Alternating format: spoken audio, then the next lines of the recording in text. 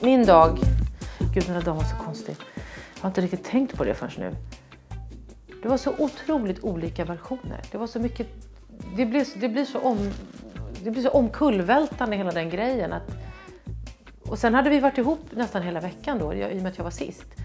Så att jag hade sån relation till alla.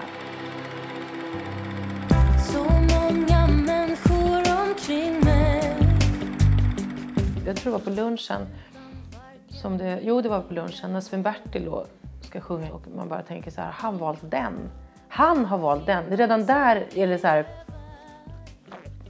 Det här kan bli lite magstarkt för mig att behöva uppleva. Liksom. För det, det är någonting så här, det kan låta patetiskt och konstigt och just det här evinnerliga att man blir så rörd. Men betänk då så här, genomsnitt fyra timmars sömn per natt och liksom hardcore upplevelsedagar hela tiden. Nya människor eh, som bara liksom vräker ur sig de mest så här, smärtsamma livsberättelser.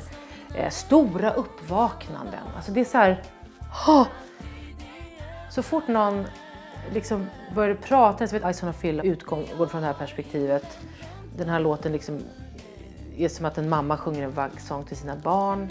Eh, så här, ja, du vet vår, relation till våra mammor som har räddat deras liv, burit dem genom det mest omöjliga. Eh, så, här, så att nu ska vi liksom vända på perspektiven. Vi väljer att göra den här låten som en slags tacksamhetshyllning till våra mammor. Så, här, så nu får du vara mamman och det är dig vi sjunger till. Och redan där börjar man lite så här, känna att man, man börjar längta hem. Liksom, typ.